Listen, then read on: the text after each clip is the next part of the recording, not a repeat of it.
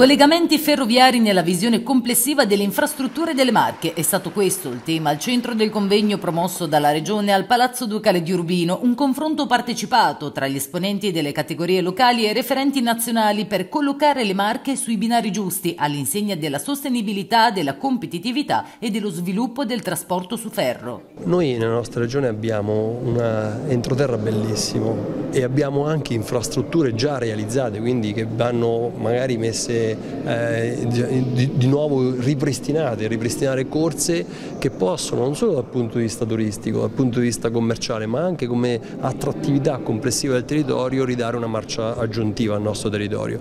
Poi in questo periodo particolare, ma in tutte le stagioni, le marche possono essere utilizzate nel turismo stagionalizzato e nella filiera agroalimentare e in tanti aspetti che ci legano alla cultura, al paesaggio, ai nostri borghi millenari. Ecco, io credo che questo patrimonio debba appartenere sostenere non solo la nostra regione ma un circuito nazionale e internazionale che ne può usufruire e ne può fruire.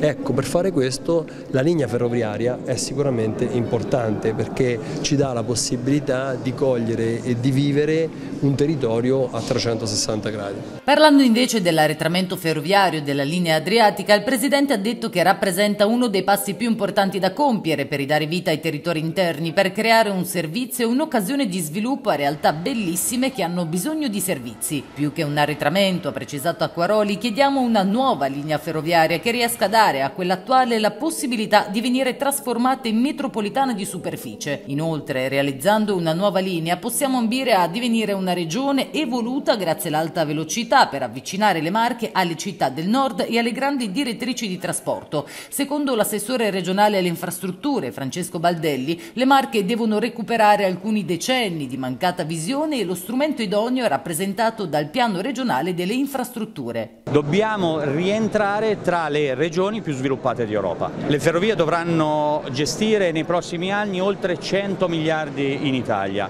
Noi dobbiamo intercettare quelle risorse, lo stiamo facendo, lo stiamo facendo sulla Roma-Ancona, stiamo discutendo di una nuova linea veloce per il trasporto merci e il trasporto passeggeri media e lunga percorrenza lungo l'Adriatica, trasformando il resto delle ferrovie marchigiane in una metropolitana delle Marche, una metropolitana di superficie che colleghi tutti i nostri territori e scarichi traffico lungo la dorsale eh, Adriatico-Tirrenico eh, e quindi la Roma-Ancona e lungo la dorsale adriatica. Solo così si rientra nello sviluppo, solo così si entra efficacemente nel XXI secolo. Lo studio di fattibilità per la FAN Urbino, poi aggiunto Baldelli, è già stato realizzato da Ferrovie su incarico del governo nazionale affidato nel 2016. Attendiamo la risoluzione di tutte le interferenze presenti lungo il corridoio ferroviario. È importante, ha concluso l'assessore, collegare Urbino, co-capoluogo di provincia, con la linea adriatica, quindi con Fano e Fabriano.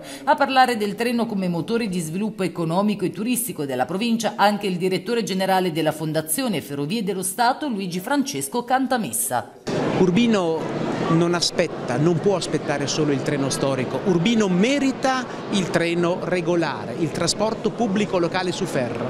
Pensate a una ferrovia moderna, silenziosa, magari a idrogeno o a combustibile liquido ecologico e pensate al collegamento diretto che ne so, Urbino-Bologna, Urbino-Bari, instradare direttamente i flussi di studenti, di enormi turisti che guardano a questa eccellenza italiana non replicabile in Italia, arrivando tramite l'alta velocità, io penso a Bologna, e da lì un regionale veloce per Urbino. Questa non è pensare troppo alto, questa non è una chimera, questa con la tecnologia, con il PNRR, con la volontà politica della Regione.